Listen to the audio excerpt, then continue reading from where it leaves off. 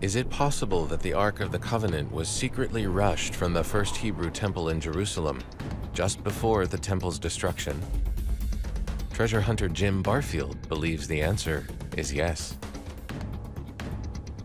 He has decoded an ancient treasure map, hammered into a copper scroll thousands of years old, which lists the supposed locations of the most valuable artifacts from the temple.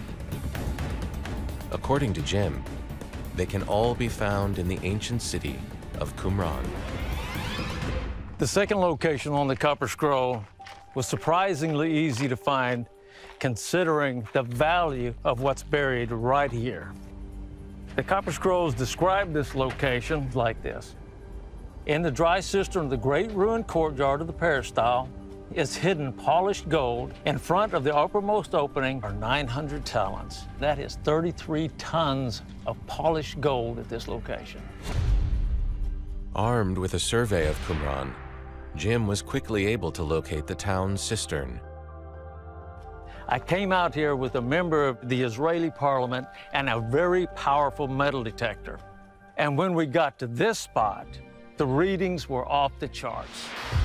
I could not believe what I saw. I went home and I buried 30 pounds of silver in my front yard, and the readings didn't even come close. But the gold was never Jim's primary target. It's just one more clue that could lead to the greatest prize of all. Location number one, location number two, lined up perfectly with my map.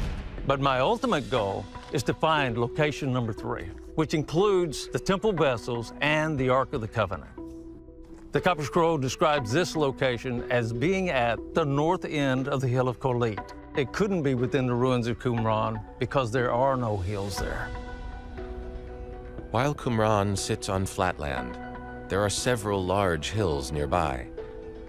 Jim studied dozens of satellite images to find one that matched the Copper Scroll's description. It's right here.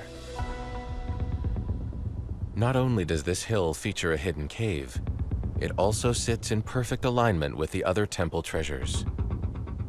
Take location number one, location number two, and you connect them with a straight line, they will lead directly to this cave that holds Israel's most important treasures, including the Ark of the Covenant. Jeremiah brought the Ark of the Covenant, the Tabernacle of Moses, and buried them inside of a cave and sealed the entrance. When I got to the cave, some of the stones looked different than the rest. It appears that an ancient trowel of some type was used to form this seal I took a sample of this stone to two different companies. They said it was an ancient man-made mortar, unlike any natural formation.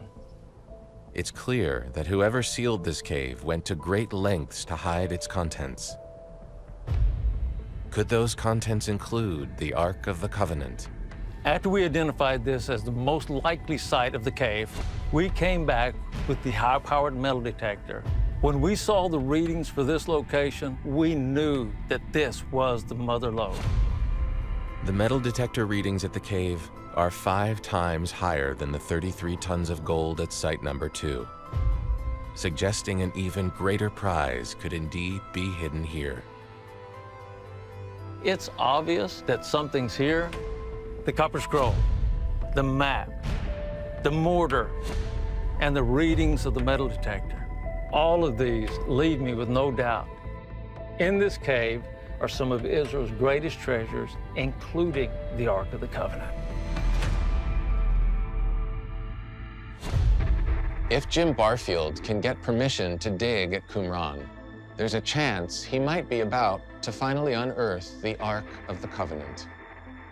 Looking forward, there's no telling where the hunt for the Ark might go.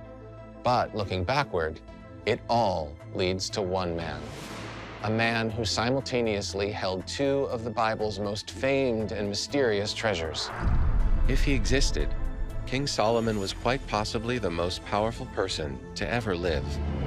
From his lucrative copper mines in Israel to his massive gold reserves imported from abroad, he controlled the area's trade routes and united his kingdom with another regional superpower. He accomplished all of this while in possession of the Ark of the Covenant. But as Solomon reached old age and reflected on his life, he wrote a telling line in the book of Ecclesiastes All the rivers run into the sea, yet the sea is not full. Perhaps the old king had realized that history's ultimate accumulation of wealth and power still wasn't enough to provide fulfillment. It's a lesson that future generations of biblical treasure hunters would be wise to keep in mind. The search continues.